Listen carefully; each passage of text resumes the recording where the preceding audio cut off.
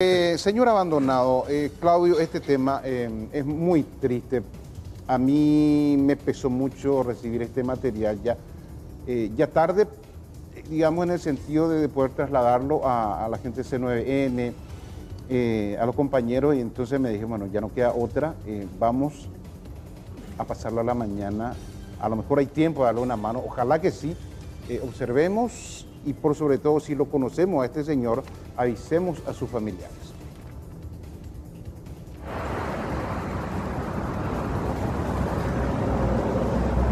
Es un anciano aproximadamente de 80 años de edad, tal vez menos, pero está instalado desde anteanoche en el hospital materno infantil de Loma Prietá.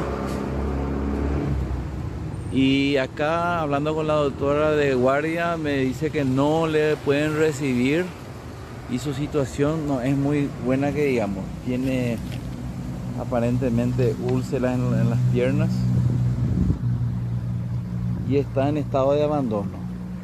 Consulté a la policía, vienen para tratar de llevarle a un hogar de anciano y no se hace responsable la gente del hospital, la gente de la policía que no podemos trasladarle porque apenas puede sentarse.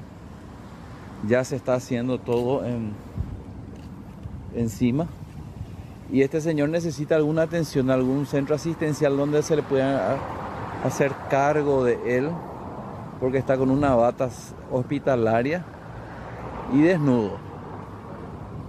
Y lo raro de todo que dice que acá en estos momentos no le pueden atender porque ellos no son centro de albergue, ellos solamente para hacerle curación. Pero veo que aparentemente ni curación se le está haciendo. Y está acá hace dos días. Así que por favor a las autoridades si pueden ver, venir, tratar de ayudarle a esta persona. ¿Está? Y que lo antes posible porque está en estado de abandono. Si lo que dice es cierto, ¿dónde está eh, el sentido de humanidad? No importa que no me corresponda hacerlo como institución, que acá no hacemos esto.